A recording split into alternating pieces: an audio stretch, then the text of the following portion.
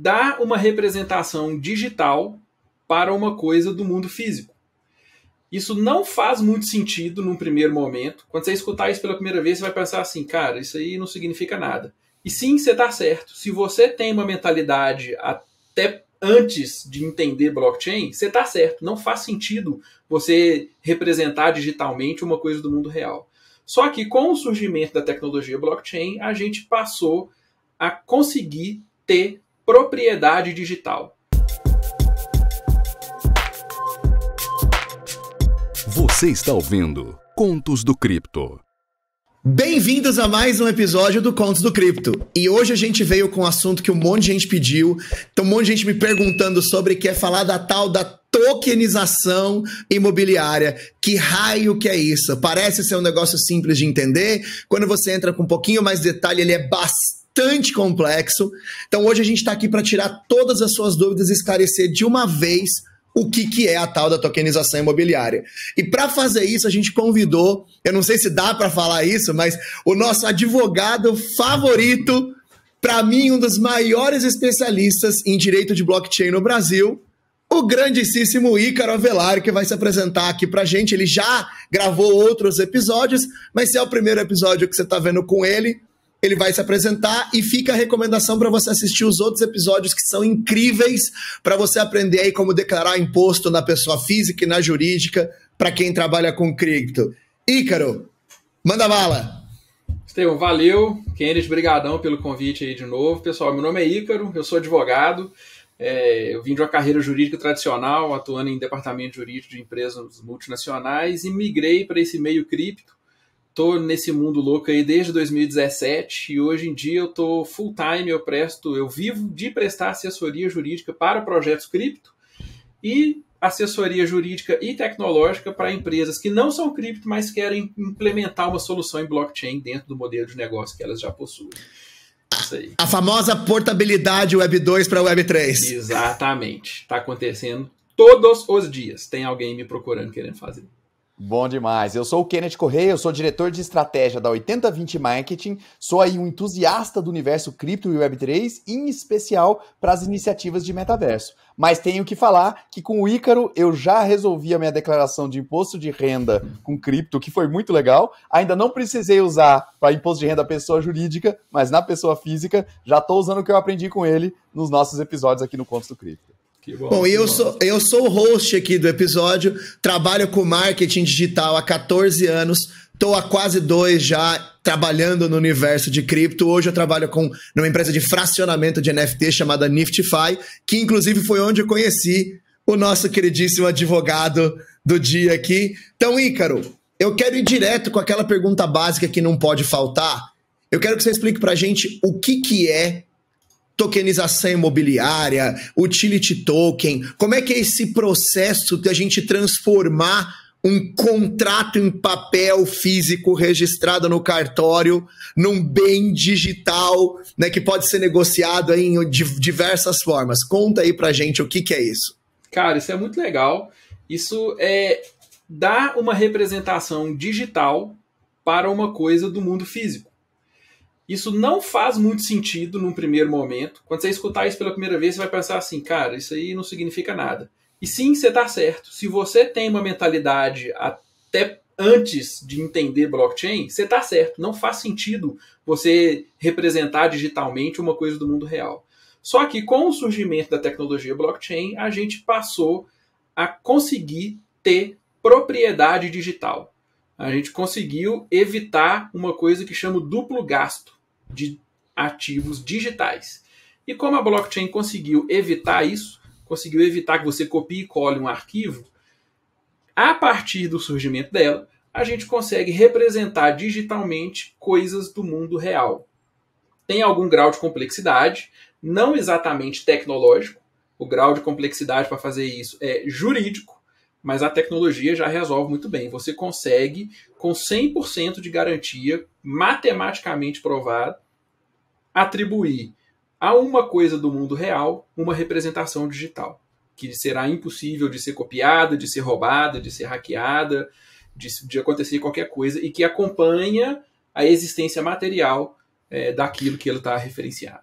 Ô, Ícaro, o que eu acho interessante é que as pessoas têm essa dificuldade de fazer essa ponte, mas na realidade o dinheiro sempre foi algo físico. E eu vou ser sincero, eu não lembro, não lembro de verdade a última vez que eu botei a mão num dinheiro de papel. né? E aí você fala, cara, você tem. Eu fico. Eu lembro uma vez que eu perdi o documento do meu carro. O inferno que foi, porque Nossa, eu precisava provar que eu era dono do carro. Porque eu não tinha o, do, o documento de propriedade que provava que eu era dono do carro. Então, assim, cara, com o documento digital, que é a mesma lógica, só que você não vai perder com a mesma facilidade. Sabe como que eu perdi o documento do meu carro? Eu lavei a minha calça com o documento de propriedade no bolso. Nossa, então não dá pra não dá para lavar a minha calça com um token imobiliário. E o interessante, se você lavar a calça com o seu telefone lá dentro, com a sua wallet que tem o seu token imobiliário lá dentro, e você perder seu telefone, não vai acontecer nada. Seu token continua na blockchain, você continua tendo acesso a ele do mesmo jeito enquanto existir energia elétrica no planeta, você vai conseguir ter acesso ao seu bem digital. É, porque a gente costuma dizer que quando está na blockchain, o item, o registro, o dado, ele é persistente. Ele é independente de onde ele está, ele está na rede, né? E Exatamente. esse conceito para a camada de segurança, no sentido de não perder a informação e ao mesmo tempo para a camada de segurança de que a informação não foi adulterada, né? É um valor que a gente tecnologicamente nunca teve algo com essa força antes, né? Exatamente. Mas eu quero continuar nessa primeira pergunta ainda, uhum. porque parece simples para gente que está mais no dia a dia de blockchain, mas como é que é essa lógica de você tokenizar? O que, que é isso? Como é que funciona isso de eu pegar lá, eu tenho a minha casa, o meu apartamento que está registrado no cartório, e em algum momento eu quero poder registrar ele numa blockchain. Como é que se dá esse processo ou até onde o que, que é possível de se fazer hoje? Isso é interessante. É, vamos desconsiderar, por enquanto, pelo menos, o aspecto jurídico, beleza? O que é que garante que o seu imóvel existe juridicamente? É a certidão de matrícula dele. Quando você vai lá no cartório de registro de imóveis, e vai lá no tabelião e pede a certidão de matrícula. A certidão de matrícula vai falar quem que é o proprietário, qual que é o endereço, quem que são os vizinhos e tudo que aconteceu naquele imóvel. O que, foi construído, se teve reforma, se não teve, se está dado em garantia em alguma dívida, se a dívida foi quitada, se foi comprado, vendido, o preço. É um histórico ali daquele imóvel. De forma é, prática, para você atrelar um token ao seu imóvel, você deveria chegar lá no cartório de registro de imóveis e falar assim: olha, tabelião, eu que sou o proprietário desse imóvel, tá aqui na matrícula que o proprietário é o Estevão, tá aqui eu, sou o Estevão, tá aqui o meu documento. Eu emiti um NFT na rede blockchain X. O smart contract desse NFT é esse endereço aqui. Então, por favor, averbe na matrícula que esse NFT representa o meu imóvel. Aí lá na matrícula do imóvel vai estar o tabelião vai falar: "Ah, o Estevão veio aqui no dia tal e me falou que emitiu o NFT representado pelo smart contract X na blockchain tal e que esse NFT representa o imóvel dele". A partir desse momento que você consegue fazer isso, qualquer lugar na blockchain que o seu NFT movimentar, as pessoas vão conseguir, vão ter a segurança de que ele de fato referencia ali o seu imóvel. Qualquer coisa diferente disso, as pessoas precisam confiar que aquele token que você falou que representa uma coisa, de fato representa. E aí a gente já tem uma primeira yellow flag aqui. Trabalhar com ativos reais tokenizados depende, é um paradoxo, mas depende de confiança. E blockchain é uma coisa que surgiu exatamente para que ninguém precisasse confiar em ninguém. Mas pelo menos por enquanto, trabalhar com bens materiais tokenizados, você depende de confiar naquela pessoa que está tokenizando ali. Porque você tem que confiar, por exemplo, que, vamos supor, um carro, não existe, um carro não, vamos pegar um, um notebook. Eu estou com meu notebook aqui. E aí eu posso emitir um token e falar assim, ó, esse token aqui representa o meu notebook. Quem comprar esse NFT me passa o endereço que eu mando o notebook para sua casa. A pessoa precisa confiar que eu não emiti mais de um token eu posso ter gerado um outro endereço em uma outra rede e emitir outro token que representa. E eu posso fazer isso infinitas vezes. Esse é o problema. Mas, eu, vamos, vamos falar o seguinte: você tocou nesse ponto de não precisar confiar. Como essa é uma palavra que a gente usa muito uh, no dia a dia, tem um significado corriqueiro para as pessoas, toda vez que você fala não precisa confiar, é, bate uma dúvida, né? E em blockchain a gente tem o conceito de trustless. Uhum. Por que, que é importante? O que, que a blockchain trouxe para dizer o seguinte: você não precisa mais confiar e isso é uma coisa boa. Como é que não confiar é uma coisa boa? É, isso é muito louco, porque é o conceito é. de. É, é, você escuta, eu não confio. Peraí, não, você não. Não é que você, você não, não tem confiança, você não precisa confiar, né? A é. confiança já é no sistema, né? Exatamente.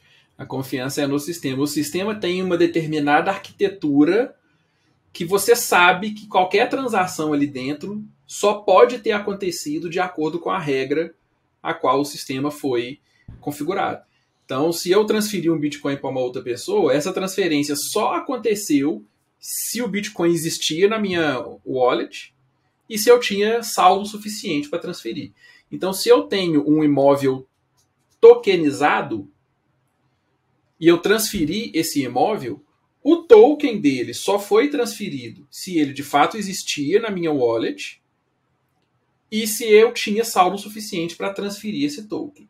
Porém, como ele referencia um ativo do mundo real, aí a pessoa precisa confiar que eu não emiti outros tokens. Em quem referenciou, né?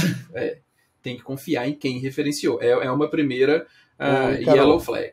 Então deixa eu te perguntar sobre isso agora.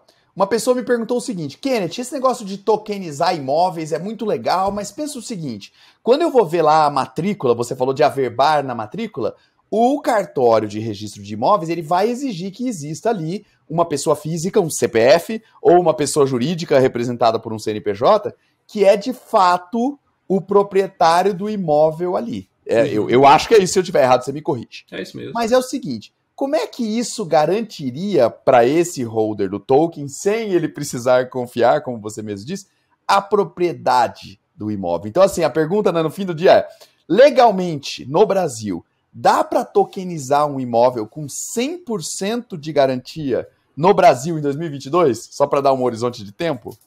Aí aqui vai um grandíssimo balde de água fria para todo mundo. Não, não dá.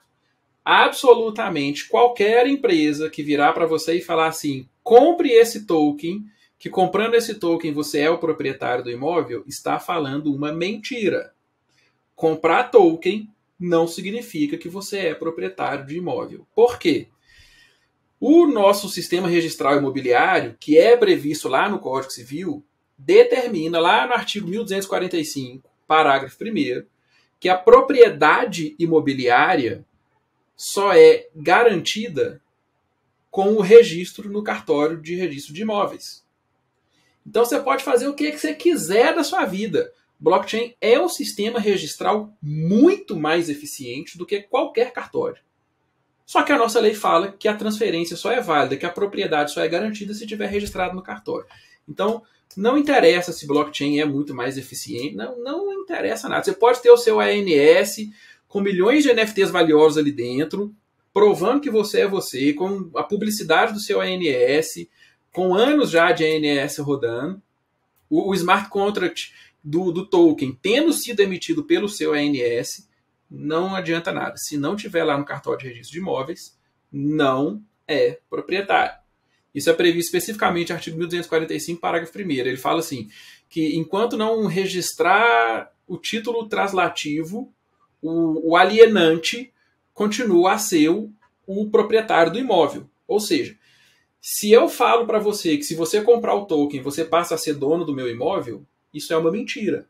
Você compra o meu token, e no fundo, no fundo, eu continuo sendo o dono do imóvel, porque lá na matrícula eu sou o dono. Qual que é a consequência disso? Vamos supor que eu tenho um imóvel aqui de 400 mil reais. Aí você vai lá e compra o token de 400 mil reais. Eu posso ir lá no cartório e vender meu imóvel para outra pessoa. Eu posso pegar o meu imóvel e dar ele de garantia em uma outra dívida. Ou eu posso ainda trocar o meu imóvel com outra pessoa. E aí, na hora que você chegar aqui para morar na minha casa, querer entrar, e já tiver alguém, ou tiver sido derrubado e construir um prédio em cima, você pode entrar na justiça contra mim. Só que o juiz vai virar e falar assim: meu cara, isso aí não significa nada, o Ícaro aplicou um golpe, sim, em você, ele cometeu um ato ilícito, só que aquele imóvel ali não é a garantia da sua dívida, não. A gente vai ter que começar uma ação de cobrança, eventualmente até uma ação penal, se for o caso, para tentar descobrir quais bens que o Ícaro tem, para tentar te ressarcir esse prejuízo que ele te deu. Mas esse imóvel que ele falou que era seu, isso aí você não vai conseguir.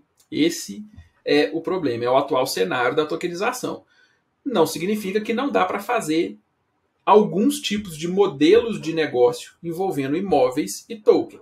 Mas transferência de propriedade imobiliária com token não tem jeito de fazer. Aqui no Brasil, algumas empresas já tentaram. Teve um caso muito famoso lá no Rio Grande do Sul. É, a Netspace tentou e o, o, a Corregedoria do Tribunal de Justiça mandou reverter a operação porque foi o, o, o cartório de imóveis chegou a registrar porque não entendeu muito bem o que, que o Tolkien estava fazendo ali no meio daquela documentação toda, registrou do mesmo jeito. E aí, quando foram ver, entenderam que o Tolkien dava a entender que ele era representativo de propriedade, e aí a Corregedoria do Tribunal de Justiça mandou reverter a operação, porque isso não, não é previsto em lei. E é diferente, não é que não é previsto em lei. A lei prevê uma coisa específica. Aí a gente já tem um ponto interessante. Se o modelo de negócio está diferente da forma específica que a lei prevê, ele não é válido.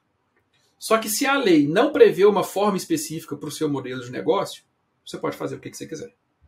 E nesse caso tem o específico, né? Então, quer dizer, se tem o específico. É. Agora, deixa eu entender uma coisa. Eu, eu, e aqui, óbvio que não é uma crítica Netspace, afinal de contas, todas as empresas estão tentando é, achar uma tentando. forma. É. É, e eu já ouvi falar muito bem, inclusive, dos sócios da, da Netspace, né? Os fundadores. Mas pelo, eu quero entender um pouco até onde você sabe do, do modelo de negócios deles. E, e, e, e ver o que, assim, porque eles estão ainda lá e estão operando e tal. Então, pelo que eu entendi, é o seguinte como é que seria a tokenização no modelo deles? O imóvel é transferido para a instituição da NetSpaces, então ela se torna proprietária do imóvel, e é feito um contrato entre a NetSpaces e o proprietário atual que determina que quem for dono daquele NFT tem a real propriedade do imóvel. É, é alguma coisa nessa linha? Sim, ela, ele é mais ou menos nesse sentido. Só que é, aí é aquilo, tá todo mundo tentando e são tentativas. E, e, é, e tá certo mesmo. Tem que tentar e bater no regulador e, e até ir tomando porrada até descobrir um jeito. Só que esse modelo, no final das contas, o meu entendimento é: se você vai fazer isso, você não precisa de token. Se você já vai fazer um contrato transferindo a propriedade do imóvel, você não precisa de um token. Você vai lá e transfere a propriedade, pronto. Tem um modelo muito interessante é, da Halsey, que ela tem um modelo de tokenização, mas não é relacionada à propriedade imobiliária. Tem um condomínio lá em São Paulo, da Halsey, que você compra, é, quem compra as unidades residenciais ganha um token, e aí esse condomínio tem unidades comerciais embaixo, e os proprietários das unidades residenciais recebem uma parte do aluguel de quem está alugando os imóveis comerciais ali. E o token é o que dá o direito de receber aquele aluguel. Ou seja, você aí é um modelo onde relaciona imóvel com token. Não é exatamente uma tokenização imobiliária, porque é, o token ele não representa a propriedade do imóvel, só que ele é um modelo de negócio que linka sim os dois mundos de forma muito eficiente. Quase como se fosse um contrato simplificado, podemos dizer assim? Sim. mas, é um mas, mas eu ainda queria segurar uma coisa dentro desse modelo da Netspace, porque uma das coisas que me perguntaram foi o seguinte: legal. Então, vamos supor que dê para fazer. Eu transfiro um imóvel meu para a Netspaces, a Netspaces cria aquele contrato, ela é uma empresa confiável, ok. Mas teve uma pergunta que me fizeram e essa eu fiquei com uma pulga na cabeça, porque é o seguinte: se aquele imóvel passa para 10 pessoas, então eu tenho o NFT do imóvel e eu vendo para o Ícaro, que vende para o Kennedy, blá, blá, blá, e nesse espaço de tempo, entre eu vender pro, entre eu segurar o NFT e passar para o Ícaro, o imóvel teve uma valorização, quando eu vendo o NFT, não necessariamente, e como ele não foi registrado em cartório, a valorização não ficou atribuída. Então, eu teria também um quesito de. Imagina que ele, esse imóvel fica cinco anos passando como NFT, ninguém necessariamente pagou imposto, então é uma evasão fiscal. Fala um pouco dessa maluquice pra gente aí. É, e isso é uma área cinzenta. Porque ainda tem um, um, um outro problema, né? Quando você está transacionando imóvel o, e, e, tem uma valorização e vende imóvel com valorização, você tem um imposto de renda sobre ganho de capital. Só que se você comprar outro imóvel dentro de 120 dias, você fica isento desse, de pagar esse ganho de capital. Só que quando a gente faz isso por NFT, o meu entendimento é que se você está vendendo um NFT e o imóvel que ele representa valorizou, não existe correlação entre o imóvel e o NFT. Porque você paga o ganho de capital é por aumento no seu patrimônio. O imóvel valorizou. E o imóvel não está no seu patrimônio. Você não é proprietário. Se alguém for lá pedir a certidão de matrícula do imóvel, não é o seu nome que está lá. O que está no seu nome é o NFT que no meu entendimento, nesse tipo de operação, ele não representa absolutamente nada. Então, se por algum acaso o, o NFT valorizar, você vai cair na regra geral de ganho de capital de, da lá do instituição normativo 1888. De que seria, tipo, eu comprei o NFT por 100 mil, vendi por 120 mil, eu tive 20 mil de valorização. Seria, tipo, pura e simplesmente isso. Sim. Exatamente. E aí, essa valorização, você vai pagar a regra dela dentro do, do ganho de capital para é, criptomoedas, que é a regra geral lá da instituição normativa 1888. Então, Oi, assim. Carol, vamos lá. Você me jogou o balde de água fria mais cedo, né? Você uhum. comentou assim, cara, não dá 100%. Mas depois você já começou a falar de alguns modelos de negócio. O Estevão te perguntou sobre a questão de ganho de capital. Queria te perguntar o seguinte: que outros modelos de negócio de tokenização imobiliária que você já ouviu ou pensou ou ouviu falar ou imagina que dê para votar? Por exemplo, eu sou presidente do conselho de uma loteadora aqui no Brasil. Eu queria saber como é que eu poderia, por exemplo, tokenizar os lotes, né, tokenizar ali a área, entender aí exatamente os detalhes, para gerar exposição para de repente alguém do público de Web3 que queira se expor para os investimentos no segmento de loteamento. Será que esse público Web3 está olhando, quer ver ativo real tokenizado, teria um, um valor para eles? Que outros modelos de negócio você consegue ver aí? Cara, eu acredito que sim. É, é, é mais fácil o público não Web3 entrar num, num, investimento imobiliário tokenizado do que o público Web3 entrar no investimento imobiliário tokenizado. Porque o pessoal Web3, eles querem a DeFi, a gente tem acesso a muita coisa eu acho difícil que o público Web3 mesmo queira entrar no investimento imobiliário. Talvez tenha uma parcela que sim, que entraria. É, tem uma parcela sim que, que entraria até para experimentar a tecnologia ali, ser um early adopter do modelo de negócio e testar a coisa, assim. Mas eu acho que o volume maior viria de quem não é o Web3 e quer experimentar é, esse modelo.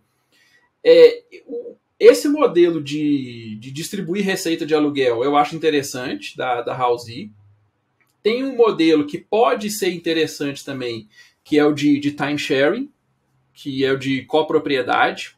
Pode ser que esse modelo é, seja interessante no sentido de que a tecnologia, nesse caso aí, ela entra como uma ferramenta porque quando você tem a copropriedade, você tem que registrar também no, no cartório de imóveis a copropriedade e tal, do mesmo jeito. Só que se, você, você, empresa que oferece a copropriedade, você precisa ter um sistema que vai fazer a gestão do timesharing.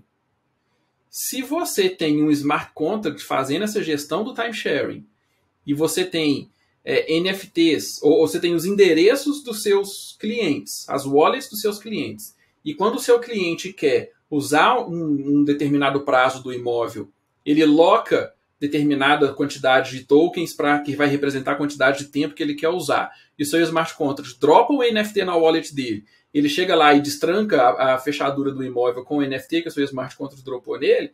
É um modelo de negócio legal. Só que percebe que isso não é exatamente um modelo de negócio. Isso é uma ferramenta.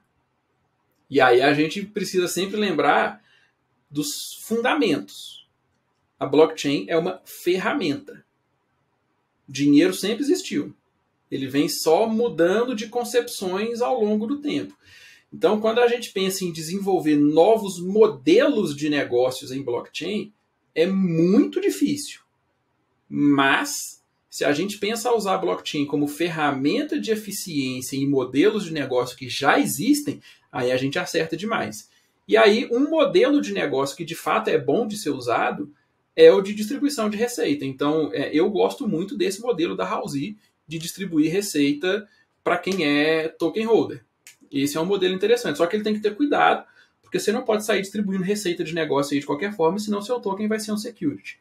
É, inclusive, a gente teve o parecer 40 da CVM aí semana passada. É, tem, tem formas de fazer. É muito eficiente, é muito fácil, é bem melhor do que os, os sistemas que a gente possui tradicionalmente de controle de registro de, de investimentos, mas requer uma organização e uma estruturação jurídica específica. Senão você vai estar emitindo security token, você vai ter mais problema do que solução. Entendi. Cara, e me diz uma coisa aí, Caro. É, além, por exemplo, você falou de modelos de negócio no segmento imobiliário. Mas se a gente considerar mais segmentos, sei lá, energia, é, varejo, óleo e gás, bens de consumo, onde que você acha, cara, que a tokenização vai chegar, ou, ou até de repente tá chegando primeiro, assim? Quais são os próximos setores ou modelos de negócio que vão se aproveitar, que você vê que faz super sentido usar de tokenização? Então, até complementando a pergunta do Kenneth, a gente tem falado em alguns episódios de CBDC, né? As moedas digitais dos bancos centrais. E o nosso Banco Central, eu já li que eles querem que, inclusive, os documentos de carro façam parte dessa, dessa blockchain do governo, né? Que também seria uma possibilidade. Então, só acrescentando aí dentro de todas as opções, também documento de carro, né? Uhum. Sim.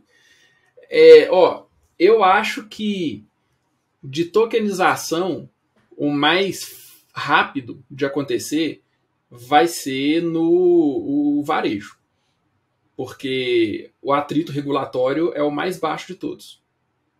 É, é, é inclusive já existe, né? O, eu acho que o, o, primeiro modelo de tokenização mais bem sucedido que surgiu foi com obra de arte, que foi a criação das artes digitais, porque a arte digital já existia antes de blockchain.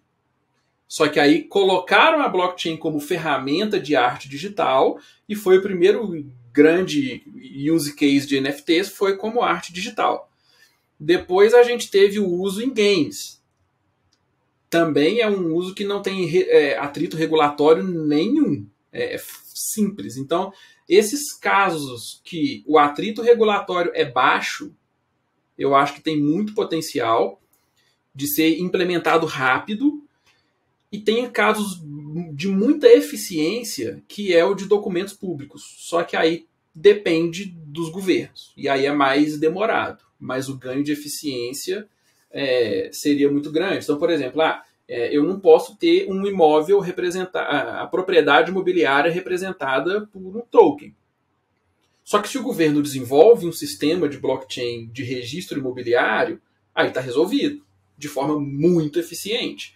Só que isso vai demorar, porque o governo tem que fazer licitações. Não é simples para o governo se movimentar de forma a usar a tecnologia, quanto é mais fácil para a iniciativa privada.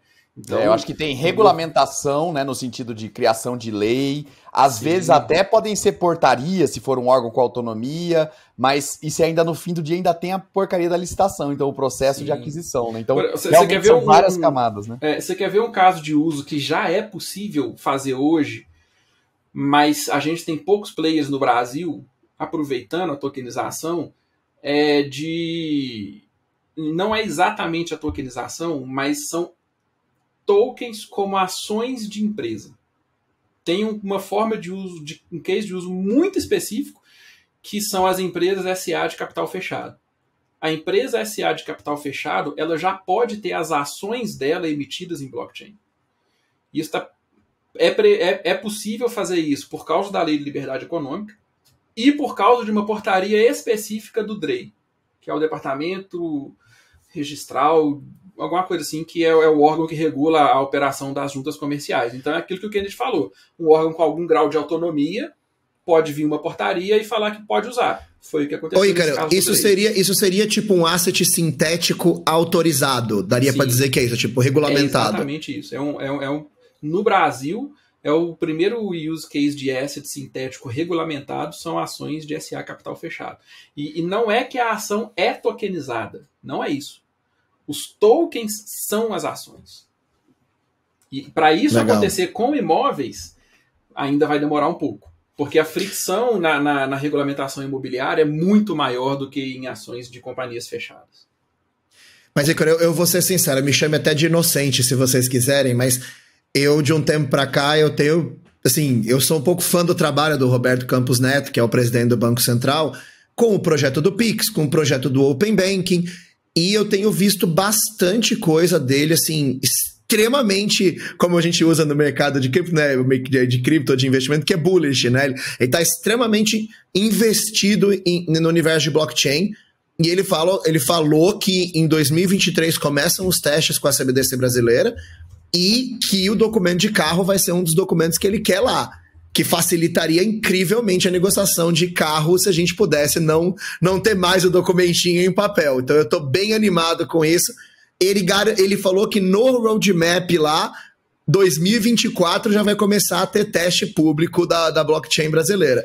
Então, a gente tem até perguntado aqui em geral para algumas pessoas do mercado financeiro sobre isso, mas a pergunta que eu quero encerrar o episódio com você aqui é: você que conhece as amarras jurídicas, então você sabe a realidade de tempo, como é que você está enxergando esse futuro de tokenização no Brasil, né? Já que a gente está aqui falando de imobiliária, principalmente da imobiliária, mas como é que você enxerga um, um, um futuro de médio e longo prazo aí, envolvendo todas, tudo isso que a gente conversou aqui de tokenização com foco no imobiliário?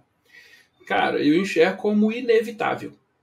É impossível que não aconteça, independentemente do, do atrito regulatório, beleza? É, tem algumas coisas que as pessoas vão preferir fazer no ambiente tokenizado, mesmo que ele não seja regulado.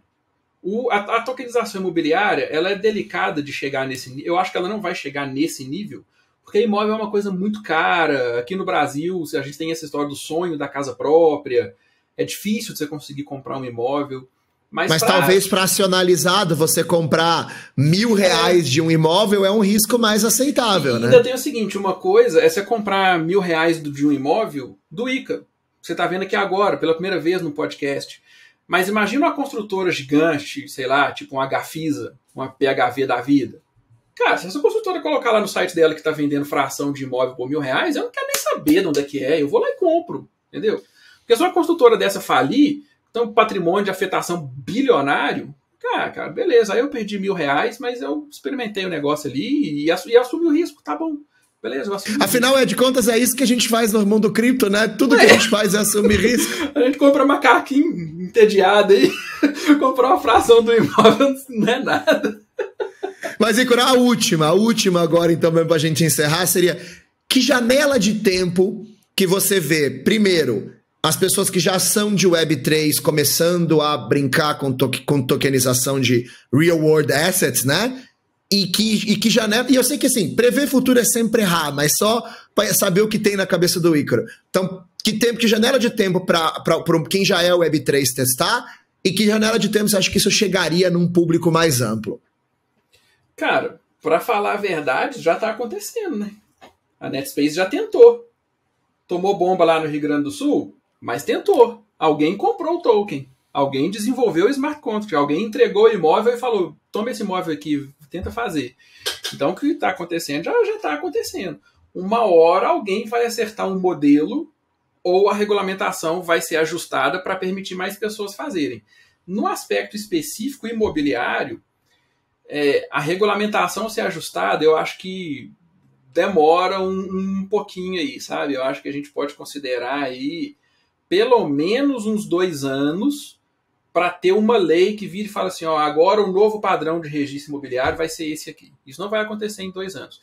Mas ne, durante esses dois anos, testes vão acontecer. Aí, com certeza, que vai ter testes em grupos menores, ou talvez em algum grau de sandbox aí, em parceria com o Banco Central e, e órgãos reguladores de, de, registros imobiliários, isso aí vai acontecer com certeza. E fora de imóveis, aí já existe, né? Já tem empresa no Brasil com ação tokenizada, já que eu tenho certeza absoluta, existem duas já. Uma em Curitiba, chama Trust Digital, e outra em, em São Paulo, chama Melhor Indústria. Então, que, que já é uma realidade, já é. Isso aí já. Estamos dando os primeiros passos agora dessa realidade. Então, que já está acontecendo, já é certo. Ícaro, assim, para variar, você super esclarecedor. É interessante ver um advogado que consegue ser tão claro, falar em linguagem tão simples como você fala. É, eu tô bastante envolvido, né, com já com, com, com, tokenização imobiliária, porque no dia a dia do meu trabalho a gente já tá mexendo com coisas nessa linha. Mas, cara, eu saí desse episódio sabendo muito mais do que eu sabia. Bom e com curiosidade pode fazer milhões de perguntas. A gente né, chegou no nosso tempo, mas se a galera pedir aqui embaixo, com certeza eu quero te chamar muito mais vezes aqui para o Contos do Cripto, cara. Quero te agradecer claro. de verdade. Kennedy, obrigado também por estar aqui com a gente, mas obrigado de verdade para você que ficou aqui até o final com a gente, assistiu o episódio inteiro. Eu sei que já deu aquela curtida, já pegou o link e já copiou o link para mandar para os amigos que estão procurando sobre o tema, porque eu sei que a gente hoje passou pelos principais tópicos.